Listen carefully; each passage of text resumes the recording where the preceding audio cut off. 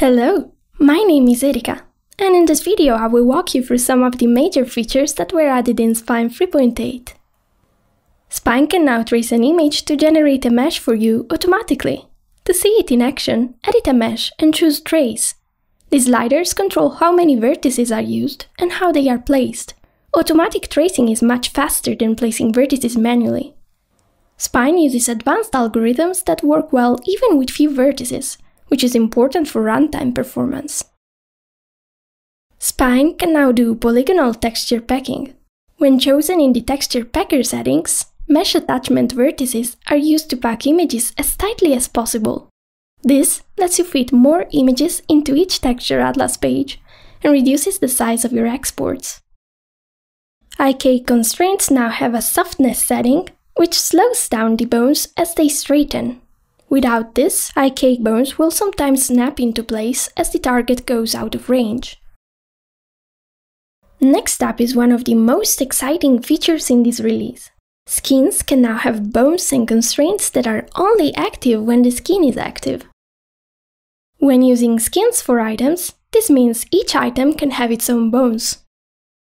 New tree settings let you hide inactive bones and constraints in the tree and viewport, so you can have as many skin-specific bones as you need, without cluttering up your project.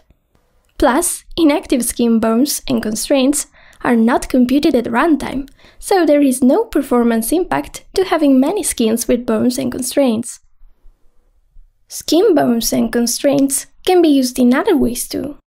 For example, a skin can use constraints to move bones so a skeleton and all its animations can be reused for characters with different proportions.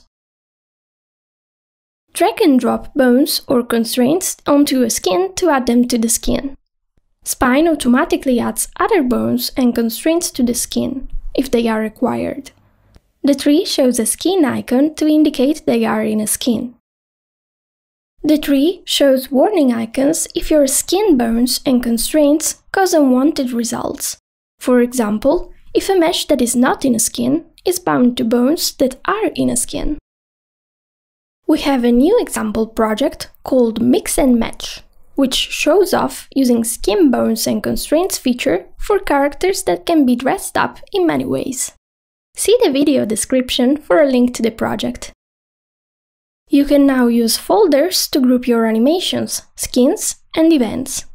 This makes organizing your projects a lot easier and reduces the amount of scrolling needed to find an item. Folders also remove the need to use long prefixes to make your names unique. For example, you can have a skin in one folder and another skin with the same name in a different folder. When the project is exported, the folder names are used to create a unique name for each object, like ice slash blue and clothes slash blue. Spine now has rulers to help with alignment and mesh creation. Click the ruler icon to activate the feature. In an upcoming release, we will also add guides and other improvements to the rulers. You can now export your skeleton's pose as a Photoshop PSD with a layer for each attachment. This can be helpful when drawing a new version of an attachment for the middle of an animation, such as a different perspective or motion blur. For example, Spineboy's PSD has him standing in his setup pose, so it would be difficult to draw a new foot image for when he is on the hoverboard. Here, we exported the hoverboard pose to help us redraw the foot. When launching Spine, you are now shown our brand new welcome screen. You can quickly access your favorite and recent projects, or explore the example projects that come with Spine. We have created walkthroughs for each example project explaining how they are rigged.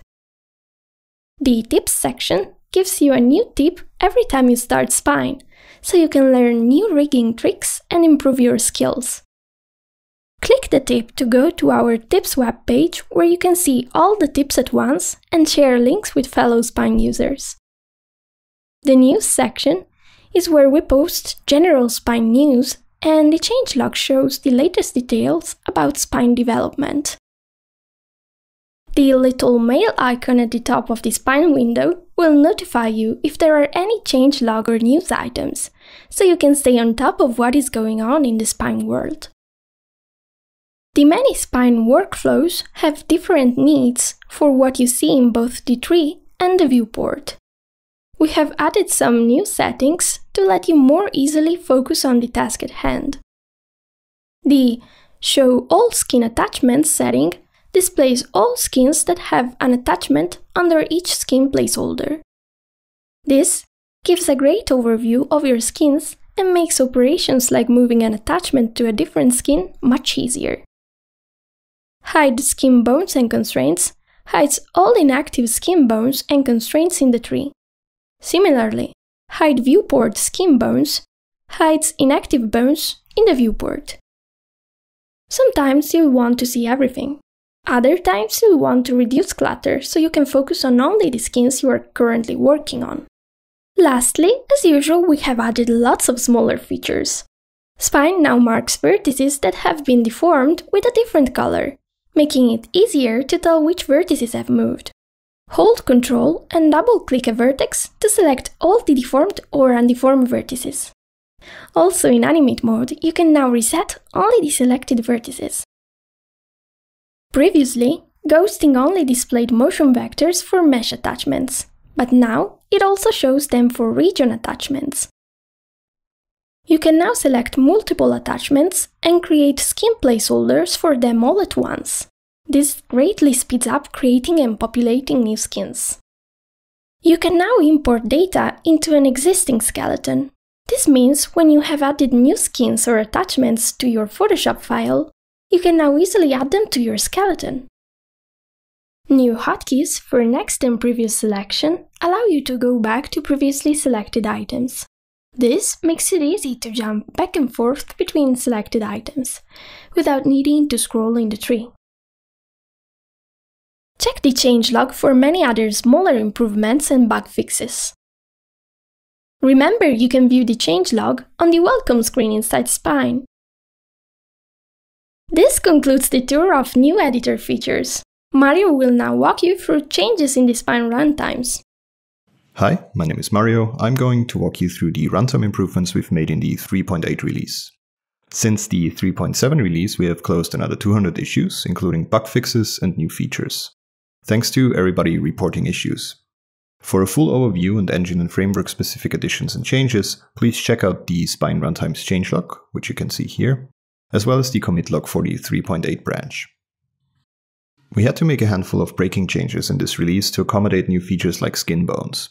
To use the 3.8 runtimes, you need to export your files using Spine Editor version 3.8.20 and above.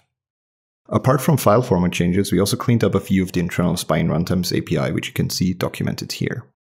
These changes are unlikely to affect you. While Spine's export formats are already quite space efficient, we have taken some extra time to reduce their space footprint even farther. The JSON format parser now assumes more default values, that is, values that do not need to be explicitly written to the JSON file. This reduces the file size, especially when there are a lot of timelines with many frames. The binary format has been modified to introduce this concept of shared strings. At the beginning of a binary file, we store a table of strings that are shared across sections of the remainder of the file, such as attachment names. In one case, we managed to cut a 3.5 megabyte skeleton file down to 640 kilobytes. All of these file format changes are documented on the respective documentation page for that format. While our JSON format is pretty optimal as far as JSON goes, the binary format is still a lot more space efficient.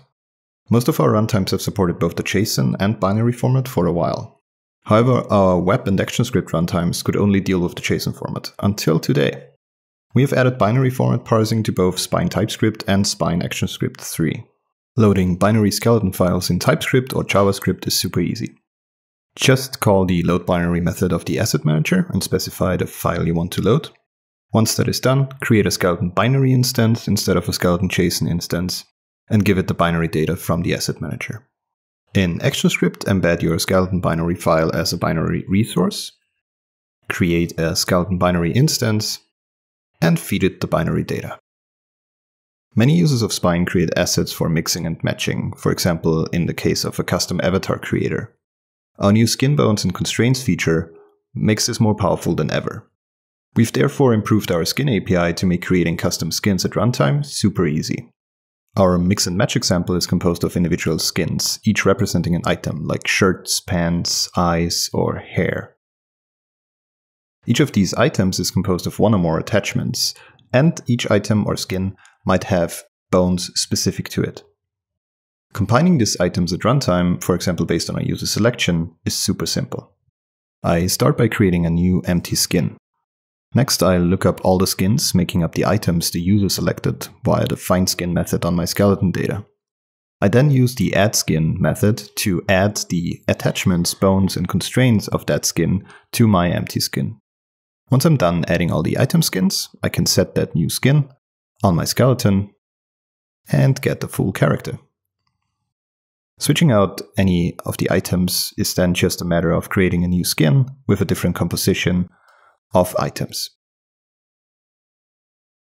The addSkin method will actually just copy over the reference to the attachments, bones, and constraints from the skin that you're adding. If you want to get deep copies of your attachments, you can use the new copyskin method. This will create deep copies of the attachments, which allows you to change things like texture coordinates.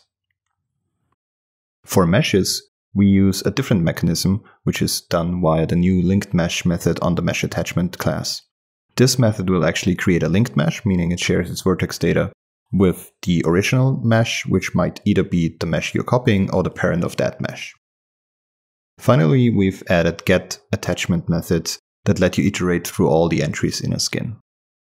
We are also always working on improving the engine specific parts of our runtimes. Over the past few weeks and months, we have published a series of blog posts and video tutorials detailing that work and how you can make use of it.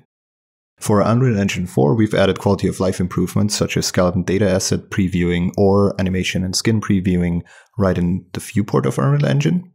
We have also added support for Unreal Engine's UI, so now you can add skeletons right into your canvases.